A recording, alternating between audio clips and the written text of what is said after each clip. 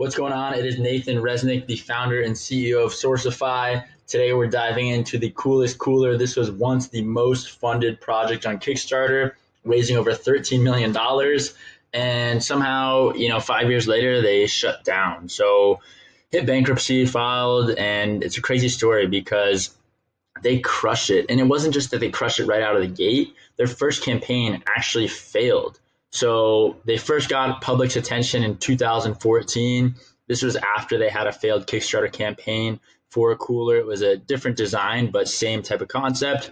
But in 2014, they raised nearly $13 million from 60,000 backers. And when you go into manufacture a product at that volume, it's a lot different than manufacturing when you're just trying to produce a few hundred units. So my guess and estimate is they didn't understand how to allocate resources to plan production accordingly. They didn't have the ability to manage cash flow. Um, you know, a lot of production when you're just starting with a factory requires 30% down, 70% before shipment. Um, but they also invented or invested in all their own molds and products. And so they didn't want to use existing coolers. They didn't want to use existing battery packs. Like they were trying to do everything custom from the ground up.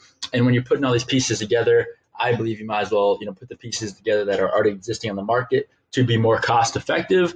But you know, the early issues was their cost of production was much higher than the $185 that they had uh, originally thought it would cost and that they raised from each customer. So they listed their coolers on Amazon for four to five hundred dollars, um, which is a bit more reasonable. I mean, I would estimate it probably costs one hundred fifty dollars or so to produce this cooler at scale. Um, but you know there was labor disputes abroad like there was manufacturing strikes at their factories in china because they were trying to cut corners um, and they had a ton of legal trouble so they started investigating the company frustrated backers on kickstarter had filed so many complaints um, and then the chinese trade wars hit which is really why they said they went under but you know we all know they just didn't forecast and plan their manufacturing accordingly to meet the $13 million in demand that they raised from their backers. So they uh, had an increased tariff to about 25%, which they claim pushed them over the edge.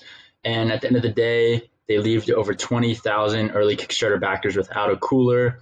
Um, and it was, you know, really just an unfortunate dynamic of a campaign going out to crush it and raise, you know, $13 million and not being able to actually manufacture its products. This is why we always say in Kickstarter campaigns, manufacturing is so so crucial to have lined up before you launch.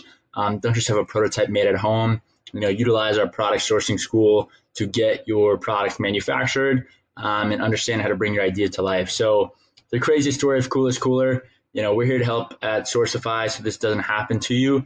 And we've already had so many six, seven figure Kickstarter campaigns that have, you know, been creators from product sourcing school. So hope this helped and it's a crazy story worthwhile reading.